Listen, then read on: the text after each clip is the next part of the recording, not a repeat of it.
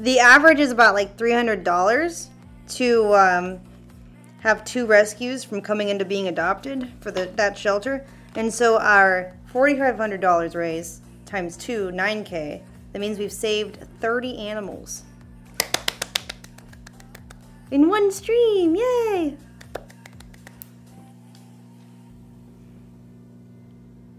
That's really good. Thank you guys for helping. And we're gonna do some more animal